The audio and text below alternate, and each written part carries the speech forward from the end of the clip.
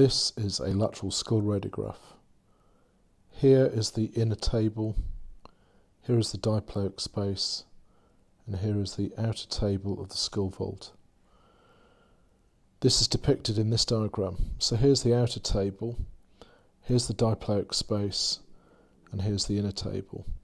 And the key thing to note here is that on the diploic side of the inner table, the border is convex, and on the diploic side of the outer table, the border here is concave. This is again depicted in this skull radiograph where there is a depressed skull fracture. The skull vault is perpendicular to the beam until you get a depressed skull fracture and the inner and outer table are then tangential to the beam just as they are here. There's the inner table and there's the outer table. This is a patient who has thalassemia. Here is the inner table, which is very clear and well demarcated.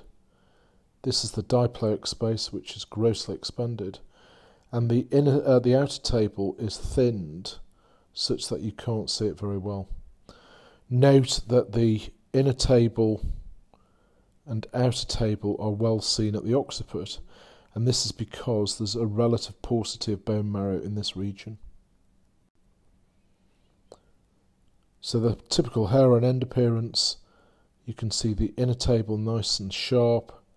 Here's the hair on end appearance, which is expansion of the diploic space, and the outer table is thinned such that you can't see it very well.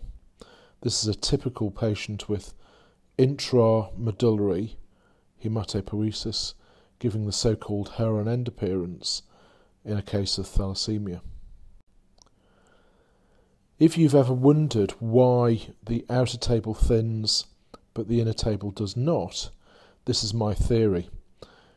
In the diploic space, you get an expansile force, and the expansion is in all directions. So, along the outer table, you've got a force which is acting on the concavity, and on the inner table, you have a force that's acting on the convexity. Imagine the inner and outer tables are composed of bricks of bone molecules or bone bricks. Because you have a tensile force, the bone bricks tend to move away from each other because it's along the concavity. Whereas the inner table, because the convexity is towards the diploic space, the expansile force promotes these bone bricks getting closer together and therefore strengthens the inner table a bit like um, an arch of a bridge. And so over time, the expansile force causes the bone molecules or bone bricks to move away from each other in the outer table, thereby causing thinning, and the inner table remains intact, just as you can see on this lateral skull radiograph.